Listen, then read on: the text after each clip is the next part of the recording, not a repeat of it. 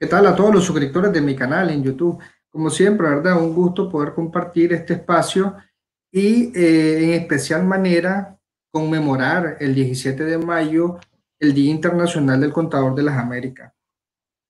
Eh, como siempre, yo invito a suscribirse a mi canal en YouTube, pero esta vez no lo voy a hacer en primera instancia. Al contrario, voy a invitar a suscribirse al canal del profesor Manlio Benito Reyes Ustedes pueden encontrar el canal, ¿verdad? Como su nombre, Manlio Benito Reyes. Eh, este canal fue creado el 4 de enero del 2011. A pesar que tiene solamente 53 videos, tiene 1.340 suscriptores y a la fecha de hoy ya lleva 994.519 vistas. Es decir, está ya a punto de alcanzar un millón de vistas de todos los videos que están colgados en el canal del profesor Manlio. Eh, ¿Qué información pueden encontrar ustedes en el canal del profesor Manlio? Bueno, pueden encontrar especialmente herramientas financieras eh, de Excel, información sobre cooperativa y uso de la ventanilla electrónica tributaria, ¿verdad? Que es de elemental para cualquier estudiante, profesional, colega, saber el uso correcto de esta, de esta herramienta fiscal. Eh, además, eh, el profesor Manlio Benito es contador público autorizado y en la Facultad de Ciencias Económicas, donde él pertenecía, él fue el fundador de los cursos en línea de esa facultad. Él desarrolló 14 cursos en línea de Excel, cuatro cursos en línea de formulación y evaluación de proyectos y dos cursos sobre el uso de la ventanilla electrónica tributaria. Además, el profesor Manlio fue vicedecano de la Facultad de Ciencia Económica de la UNAM León, fue catedrático en pregrado y posgrado por 15 años en las áreas de auditoría, contabilidad financiera, finanza y por supuesto, ¿verdad? Él es experto en educación virtual. Fue a sacar esa especialidad a, a Ecuador, ¿verdad? Si no me equivoco, maestro. No, estuve dos veces en Perú. En Perú, ¿verdad? Entonces fue en Perú. Eh, da asesoría empresarial, ¿verdad? Empresa del sector privado. Eh, es socio de RBT Consultores, es contador público autorizado, tiene un máster internacional en gestión universitaria, en la, de, eh, egresado de la Universidad de Alcalá de Henares, España, tiene un diplomado en gerencia universitaria y planificación estratégica en la UNAM Managua, es experto en diseño, implementación y gestión de proyectos, el Learning, auspiciado por la Universidad Politécnica de Furtwängler en Alemania, para convertirse ¿verdad? en especialista de educación virtual. Además, fue director de finanzas en la UNAM León, contador general en una empresa de, distribuidora de energía en la segunda región, fue administrador de empresa, eh, administrador de empresa del sector ganadero y gerente financiero, ¿verdad?, de una empresa dedicada a las importaciones eléctricas. Además, es dueño del blog profesormanlio.wordpress, ¿verdad? Y, y por supuesto, está todavía activo, ¿verdad? Dando asesoría a empresas privadas. Entonces, ese es el pequeño currículum del maestro, ¿verdad? Que por acá lo tenemos de invitado para, eh, para la celebración, ¿verdad? El Día Internacional del Contador de las Américas. Pero, ¿cómo nace esta fecha, el 17 de mayo. Eh, el 17 de mayo de 1949 fue que se, se desarrolló la primera conferencia interamericana en San Juan, Puerto Rico. Todo esto fue organizado por el contador, ¿verdad? Eh, Juan Ángel, ¿verdad? que en paz descanse. Entonces, de ahí deriva ¿verdad? Eh, la fecha histórica del Día Internacional del Contador de las Américas que a la fecha de hoy, 17 de mayo, se están cumpliendo 71 años de la celebración del Día del Contador. Entonces, algo curioso, maestro, que le quería comentar, ¿verdad? Antes de hacerle la palabra, es de que la AIC tenía como abandonado el canal de YouTube. Yo me di el trabajo de revisar el, el, el, el contenido, ¿verdad? Y y la actividad que tenía este canal y me pareció sumamente extraño que lo tuvieran eh, desatendido. Y esto no es hablar de, la, de mal de la, de la Asociación Interamericana de Contabilidad, al contrario, me parece, creo, pertinente porque más ahorita, en tiempos del COVID, el uso de esta herramienta ha sido, eh, es de, de, de, de mucho, eh, de, mucha importancia. Entonces, fíjense que un dato, la AIC, el canal de AIC, el 24 de marzo del 2020, estamos hablando de este año, apenas tenía 20 suscriptores y tiene colgados solamente dos videos en su canal de YouTube. El 3 de abril, de 20 pasó a 21 suscriptores. El 30 de abril pasó de 21 a 25 suscriptores. Y todavía dos videos colgados. Pero, ¿qué fue lo que ocurrió? ¿Verdad? Como usted se dio cuenta, hace, hace días hubo una conferencia, ¿verdad? Transmitida por el canal de YouTube de la AIC. Y es decir, que con solo un video que subieron ahorita recién, ¿verdad? En conmemoración del 71 aniversario, el Día del Contador, este canal ahorita subió a 1080 suscriptores. Entonces se nota, ¿verdad? Que cuando le creas contenido y subís conferencia, entonces ahí se ve la importancia de, de, de, tener actividad en el canal. Entonces, eh, ese era uno de los puntos, ¿verdad?, que quería eh, comentarle antes de iniciar. Entonces le voy a hacer la palabra al maestro Manlio para que eh, nos hable un poco acerca de cómo elevar el perfil del profesional contable, ¿verdad?, en los tiempos actuales. Muchas gracias, Marcio. Eh, bueno, realmente me sorprenden, me sorprenden los datos de, del canal de YouTube eh, que, que, yo tengo. Pues la verdad es de que yo me retiré de la, de la docencia mm, por algunos motivos eh, muy particulares, pues, ¿verdad? Eh, yo he sido amante de la docencia, considero que sigo siendo maestro, pues, ya que algunos alumnos, exalumnos me buscan yo de manera gratuita y desinteresada, pues este, atiendo las consultas, ya sea por correo o por teléfono, o también este, consulta ya de, gente profesional, pues, ¿verdad? Eh, sin ánimo de lucro, sin... Es decir, considero de que para qué quiero el conocimiento si al final eh, yo no me lo voy a llevar para, para donde yo me vaya, pues si yo supiera que voy a ir a dar clase por allá, pues a lo mejor me lo reservo, pues, ¿verdad? Pero, eh, eh, pero no, pues es decir, este, el conocimiento que cuesta adquirirlo, pues, y es parte de lo que vos decís este, sobre el tema del perfil del profesional, cuesta. Eh, no, no solamente, por ejemplo, que puedas adquirir una beca, sino que tenés que poner de tu parte para, para poder salir adelante, pues, ¿verdad? Yo recuerdo el tema de la, de la maestría que mencionabas con Alcalá de Henares.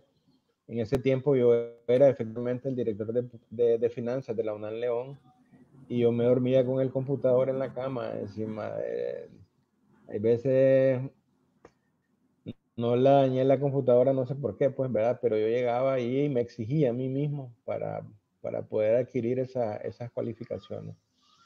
¿verdad? Eh,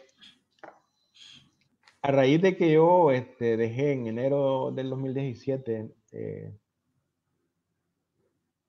perdón, en enero del 2018, este, mi, la docencia completamente, pues me, me, jubilé, aunque me han dicho que no diga la palabra jubilado, porque jubilado viene de, de júbilo y, y nosotros los, los adultos mayores pues no tenemos mucho de que decir de que tenemos júbilo, pues somos pensionados. Pues.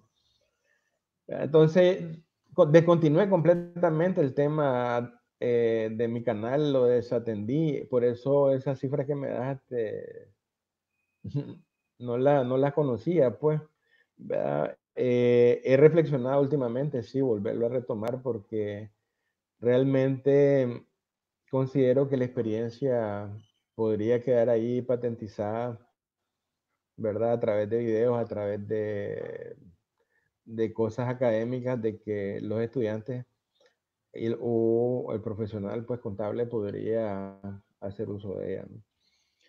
Ah, entonces, eh, tengo, tengo, tengo mucho que dar, pues, pero eh, el tema de la docencia es complejo, pues, es complejo de todo punto de vista, pues, los que amamos la docencia, hay veces nos sentimos hasta frustrados porque te voy a dar algunos datos, pues, y hay cifras que a mí no se me olvidan porque son números eh, por ejemplo, yo hice un estudio particular sobre cuando yo era vicedecano de la Facultad de Ciencias Económicas y Empresariales de la UNAM de, un quinquenio, o sea, cinco años de, de graduados. ¿Cuántos graduados había este, alcanzado eh, la, UNAM, la UNAM León, verdad, en la, en la, Facultad de Ciencias Económicas, solamente de la carrera de contaduría? Pues? no, no te voy a negar, pues la contaduría yo la atendía de forma bien especial, pues porque era mi carrera. Eh, las otras también, pero de especial manera, pues el tema de, los contadores. Entonces, en un quinquenio, eh, en los cursos ordinarios, la facultad graduó 444 eh, contadores pues, en un quinquenio. Pues. Eso nos da un promedio prácticamente de 80 grabados anuales, ¿verdad? Y este, la gran pregunta, pues, que, que yo me hacía en ese momento era de que si de esa cantidad de grabados, eh, el mercado iba a ser capaz de absorberlo. Pues. Eh, para ellos juegan variables eh, que hay que considerarlas como el tema del crecimiento económico, el tema del crecimiento de las empresas, y son datos que no tenemos, pues. ¿verdad? Y eh, eso juega prácticamente en contra del profesional porque eh, se evalúa, se evalúa el tema de su servicio. En 1977 yo tuve el título en el mes de enero de 1977 de contador privado. Los contadores privados en ese momento éramos súper valorados en el mercado laboral Inclusive el tema del contador privado, el, código de ética del contador público eh, lo menciona por la calidad, debido a que eh, habían algunos procedimientos para alcanzar el, título de contador público haciendo solamente dos o tres años eh, adicionales de estudio, ¿verdad? En 1977, para poderme grabar de contador privado, vinieron del Ministerio de Educación Pública de Managua a, examinarnos, ¿verdad? Eh, recuerdo que éramos 12 los que eh, estudiábamos en ese momento y uno no, no, no promovió porque quedó este, reprobado por la gente de Managua que venía a examinarte. Pues.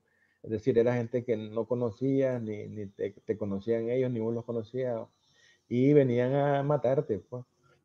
¿verdad? Eso implicaba de que uno uno, pues en lo particular, debía elevar el nivel de, de, estudio, de autoestudio y, y, el acompañamiento que teníamos de los maestros para, para poder salir adelante y superar eso. En 1977, que yo comencé a trabajar en, contabilidad eléctrica, eh, yo negocié mi salario. ¿verdad? Eh, me sentó el gerente y me dijo cuánto, lo, cuánto querés ganar. Pues. Entonces, como más o menos uno conocía eh, eh, las bondades del mercado laboral, entonces uno negociaba, pues. Pero recuerdo que fueron 650 córdobas lo que me pagaron. Plata que yo no, el primer pago pues que yo tuve en mi bolsa no había ni que hacer con él. Pues. Pero esas cosas vinieron dando tumbos, pues, ¿verdad? Eh, en algún momento yo consideré mm, no profesionalizarme, pues, porque para mí el tema de la contabilidad privada, pues me había dejado a mí mucho conocimiento, mucha experiencia, pero fue eh, cuando teníamos una compañía que se llama Certeza, una, una de las muchachas que trabajaba ahí en la empresa me dijo que por qué no estudiaba en Managua, pues en lo que era Procomín, que eh, es una Managua, pues, pero era un programa especial. Eh, me matriculó, me trajo los papeles y me dice, mire, ya está matriculado, vaya a clase. Entonces, eh, comencé profesional ya bastante de edad, ¿verdad? Me gradué en el, en el, en el, en el 2000. Pero te quiero dar un dato, pues cuando nosotros nos comenzamos a estudiar, éramos 117 alumnos. Eh, era una cantidad considerable. 117 me asemeja a mí o, me lleva al tema de los cursos sabatinos de la UNAM León, donde está súper poblado, ¿verdad? De, alumnos, pues, y que hay veces es materialmente difícil dar una clase que pueda ser asimilada por todos los, los presentes, pues, ¿verdad? Fuimos 117 y nos grabamos dos nada más. Nos grabamos los mejores, ¿verdad? Ah, eh, yo en lo particular, ¿verdad? Y este, un compañero que se llamaba Oscar Antonio Elizabeth, que era el, el financiero de HL en Nicaragua. Entonces, eh, a partir de ahí, pues que yo terminé, comencé a estudiar mis posgrados, mis especialidades, hasta llegar hasta donde, hasta donde llegué, pues hasta, hasta antes de, de, de jubilarme o de retirarme de la universidad, pues yo seguí estudiando y adquiriendo conocimiento. Hoy también lo sigo haciendo, pues, pero de manera un poco, quizás un poco más, este, más eh, relajado, pues, ¿verdad? Pero eh, como maestro, ¿verdad? Eh, a mí me pensar cómo los estudiantes que están saliendo graduados no solamente de la, de la, de la UNAM León, porque gradúan otras universidades privadas aquí en, en León, gradúan otras en Managua, la pregunta sería, ¿verdad? Un buen tema de investigación, ¿cuántos alumnos se gradúan anualmente en la carrera de Contaduría Pública y Finanzas eh, de, de, las universidades nacionales y las universidades privadas? ¿Verdad? Yo te aseguro de que toda esa masa eh, estudiantil que sale graduada jamás va a ser absorbida por el mercado laboral. Es por ello que cuando se menciona de que hay una plaza vacante, pues entonces Bienmente puedes ver 500 postulantes en una gran fila con sus documentos queriendo acceder a la plaza, pues. Eh, y los empleadores, pues, o el dueño de la plaza, pues, eh, se aprovecha de esas circunstancias en función de pagar el salario de reserva. Eh, el salario de reserva se conoce como el salario, el salario mínimo establecido para la profesión.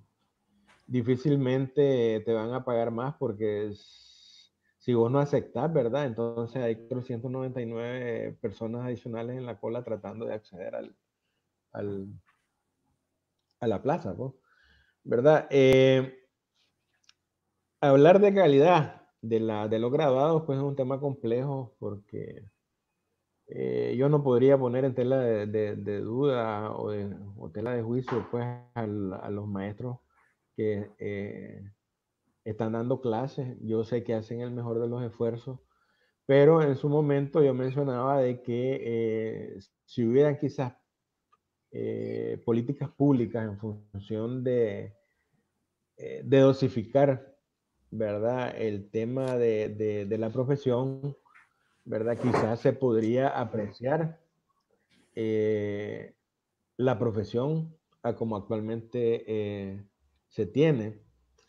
Para el tema de la, de la, de la calidad, pues eh, juegan su papel fundamental los planes de estudio, ¿verdad? Eh, en este caso, las universidades privadas tienen un poquito de mayor grado de libertad para ajustarla.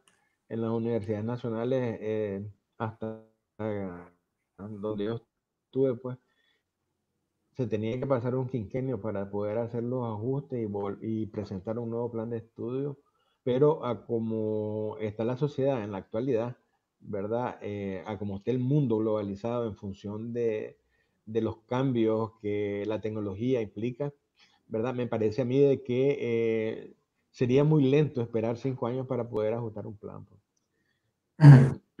Tuve la oportunidad de, hacer algunos estudios privados, ¿verdad? No privados, pues, sino de que eh, la manera de hacerlo, pues, fue en línea. Eh, se le consultó sobre todo a la masa estudiantil que yo, yo tuve, ¿verdad? Que cuáles eran las principales eh, dificultades que tenían al ingreso del, mercado laboral, ¿verdad? Y este, en la vuelta de correo o retorno, pues, de la información, pues, se logró determinar de que una de las de los grandes problemas que existía en función de, adaptarse al mercado laboral el tema de la eh, de la ofimática, de la informática, el tema de la ventanilla electrónica, ¿verdad? Esos son temas que al final tengo entendido que no, no se dan pues en la práctica estudiantil, pues cuando son estudiantes, pues. ¿Por qué? Porque eso requiere el uso de laboratorio, requiere el uso de, de, de, una serie de tecnologías de que en las universidades todavía no las tienen. Sí, fíjese que eso que casualmente...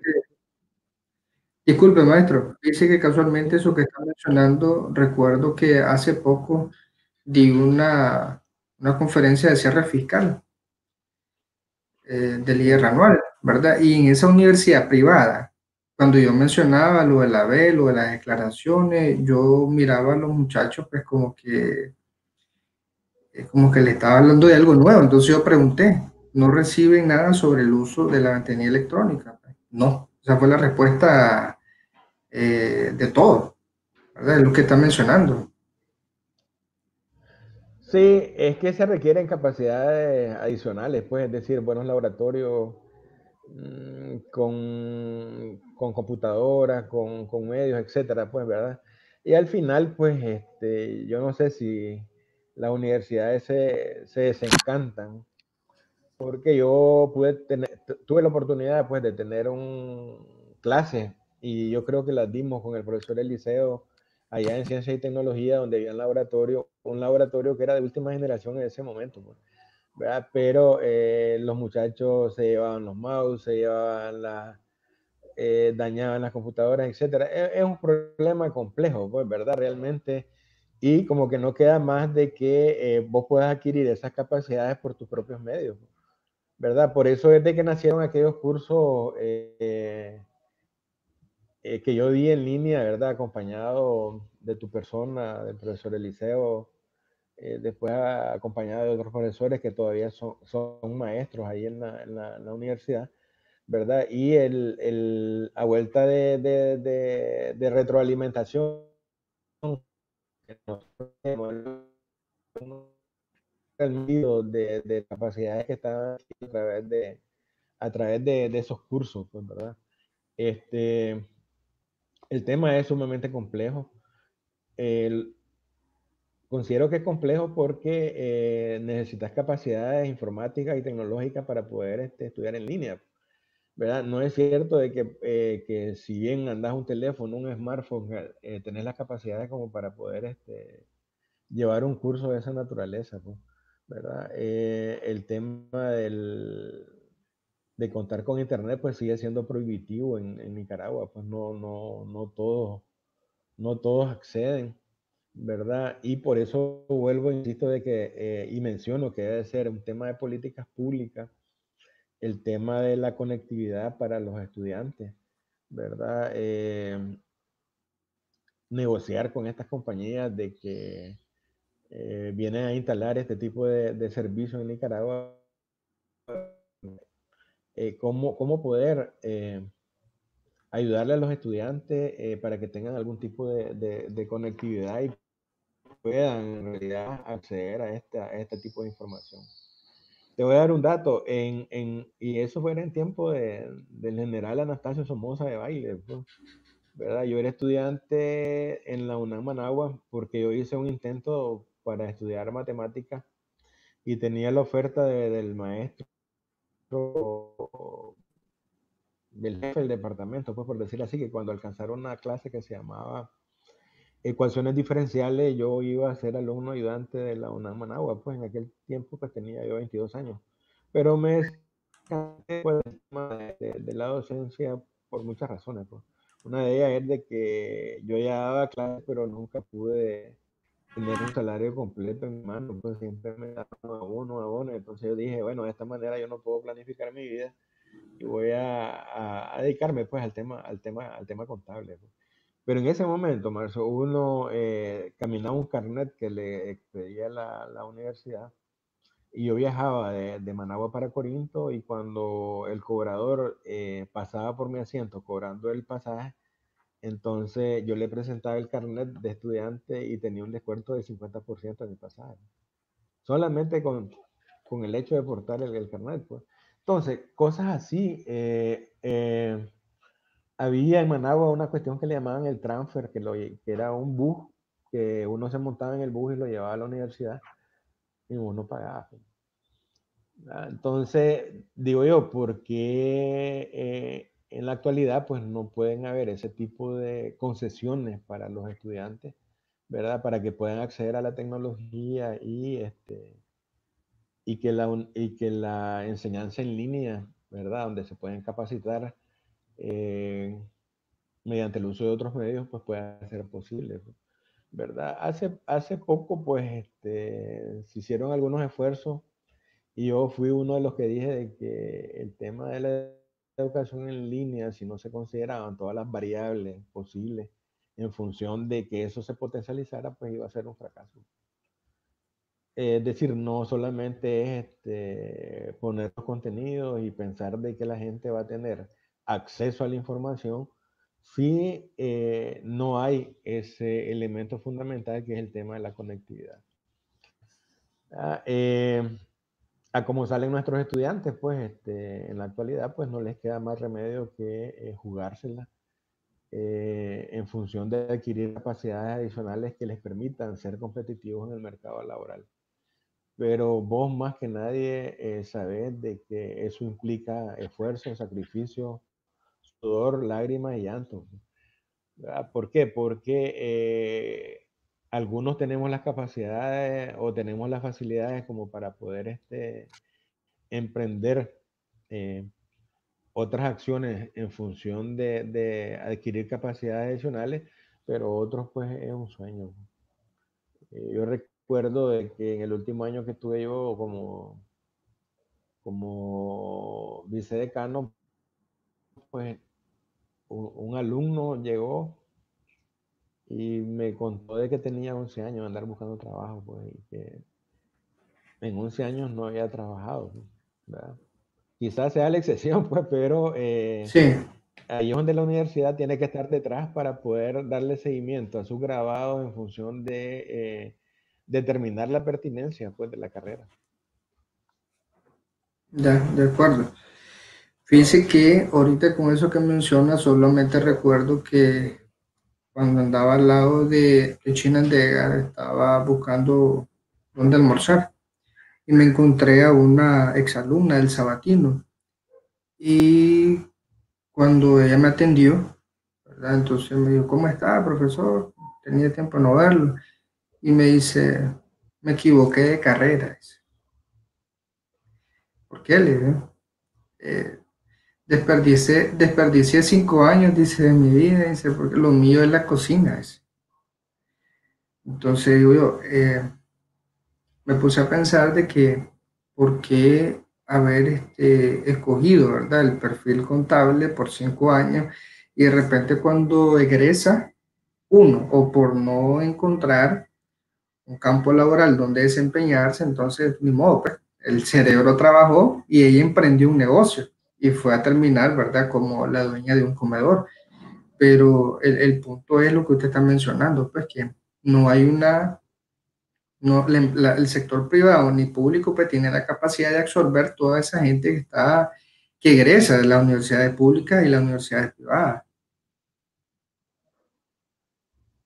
Sí, claro. Eh, mira, yo pienso, ¿verdad?, de que, mira, el tema de en el diario sí, sí creo que hay cuotas, pues, y las respetan, ¿verdad? Eh, pero en, el, en, los temas autofinanciados, ahora hay dominical, pues, ahora hay sabatino, hay dominical. Eh, yo no sé pues cuál es la, la, idea pues de, de, graduar y graduar y graduar. Si al final lo que se eh, crea en el alumno es una frustración, pues, ¿verdad? Eso, eso que te menciona eh, la ex alumna puede ser una frustración. Pues. Es decir, ¿por qué? Porque eh, vos te das cuenta que al final tus oportunidades son muy, muy, muy reducidas o, nulas, pues, de, de, colocarte en el mercado, en el mercado laboral. Pues. ¿verdad? Yo, eh, a pesar de que no estoy ya en la docencia, pues sí le sigo dando seguimiento por los eventos que, que ocurren en mi vida. Pues es decir, eh, yo aquí tengo a un muchacho que eh, está por sacar su tesis, pero es bueno, lee, pregunta, capta. Si yo le digo, mira, ese texto en Excel, él lo hace, ¿verdad? Pero son, son, son excepcionales, pues, ¿verdad? pero la mayoría tiene, tiene problemas, tiene dificultades, pues. Eh, podemos verlo en el mercado laboral cuando vamos a hacer una auditoría y vemos eh, las dificultades que puede tener el contador de, de, una institución cuando vos comenzás a mencionarle una serie de cosas y, y nada, pues, es decir, este, no, no hay una respuesta eh, a como debería de ser, pues. Entonces pienso, ¿verdad? Que sí, sí se puede a través de la misma universidad, ¿verdad? Pensando siempre en el alumno porque, eh, como te mencionaba, no todos tienen las capacidades necesarias como para poder este, solventar esos déficits que vos sacás de la, de la universidad. Pues, ah, entonces, por medio de, de, de, políticas, pues, bien, bien especiales, pues, eh, se podría quizás solventar pues, esas situaciones. Ok. Entonces, ya para concluir, ¿verdad? El, lo de la presentación del día de hoy. Eh, lo de elevar el perfil del profesional contable. Es muy importante lo que mencionaba el maestro alrededor de, al haber una cola, ¿verdad? Esperando una oportunidad laboral, entonces ahí es donde aparece el oportunismo de parte del sector privado intentando pagar lo menos posible. Eh, eso en el mejor de los casos, pues, si no, pues hasta pueden ofertar hasta por debajo del mínimo, ¿verdad? Y luego ellos dentro de sus estrategias internas, ellos pueden seguir pagando bajo el mínimo, ¿verdad? Pero ellos están reportando normal a su, al seguro, ¿verdad? El mínimo, porque sobre ese valor es que va a tasar su, su deducción laboral pero eh, está causando Esa, esa problemática en el, en, el, en el, contador.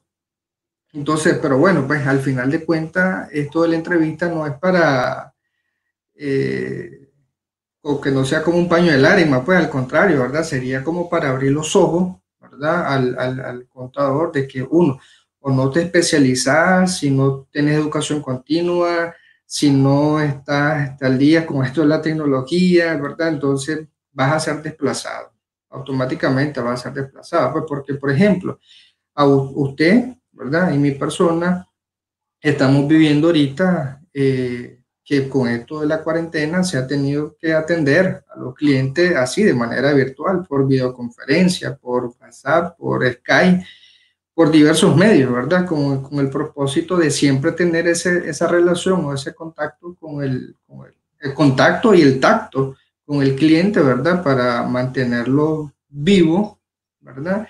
Y que al final de cuentas, porque se, se convierte en, un, en, una fuente de ingreso, ¿verdad? Para el, para el profesional contable.